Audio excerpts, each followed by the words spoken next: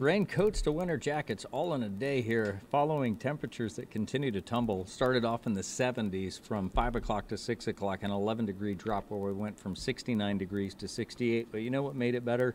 Blue Bell ice cream. I don't know if you can see that. Let's see if the logo. There you go. The Blue Bell ice cream folks came by, and uh, it's National Weather Person's Day, and they're always kind. They bring by ice cream, and this morning it was cereal ice cream. So it was kind of like you had breakfast and dessert all at the same time.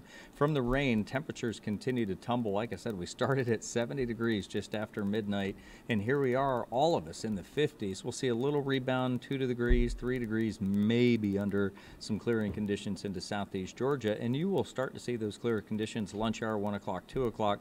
A little delay across northeast Florida that could take to about 3 to 4 o'clock, and then the clouds will slowly erode here as we get to our early evening hours, giving up a better chance for what will be dropping temperatures overnight tonight with southeast Georgia actually seeing temperatures in and around the mid 30s. Northeast Florida will find 40s and 50s. And the models just did a spectacular job here when it came to the timing and the rainfall. That half inch to three quarters is what we've seen so far. I think when it's all said and done, we should be right on time between that half inch up to about an inch of rain. Cloudy, rainy, and those showers with even some thunderstorms this morning will give way to a breezy and a cool Saturday for folks that are hitting downtown for the first part of the Donna run. It's it's the breezy conditions that you'll notice the most, with the colder morning temperatures giving way on Sunday to a warmer day.